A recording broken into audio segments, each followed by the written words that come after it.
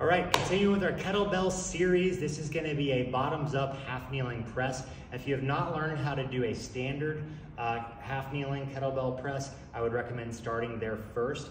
But once we've got that, we can progress. So your basic position, knee stacked under hip, hip stacked under head. My back foot, I like to have flat. That allows me to relax the muscles on the front of my leg so I can get more hip extension so it doesn't kick me in like that. Um, the front leg, I wanna make sure that my foot is stacked underneath my knee. I don't want it too far forward and I don't want it back where my heel is disconnected. That's not gonna give me a stable base. So I'm gonna plant this foot in the ground. Now, with the grip,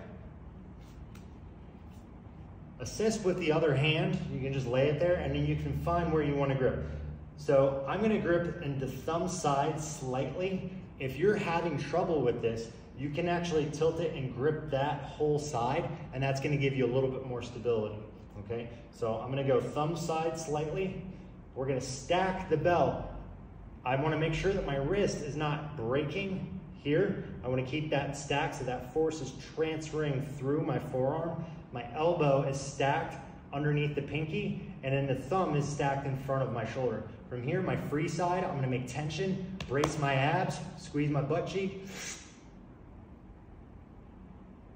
drive over top. Now when I get over top, I don't want my rib cage to come forward, I don't want my hips to drift forward. When I pull down, I can look at it,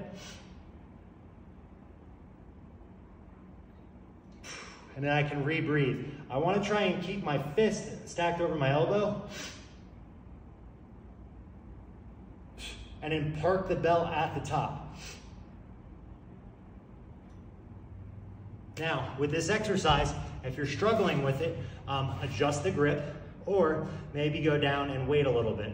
Uh, another thing is, if you're really struggling with it and you can't keep the position, we find that when people can't do this, it's typically that you're finding out that they may have an issue with the shoulder or the stability at the shoulder, but a lot of times it can be a mobility limitation. So if I cannot keep a vertical path, a lot of people tend to dump the belt in. That's usually because I don't have adequate external rotation, so that shoulder has to work a lot harder than it should, and I start to dump that uh, weight in. So if you're having trouble with that, maybe work on a little bit of mobility, Maybe don't do this exercise right now. Probably spend more time doing the standard half kneeling kettlebell press.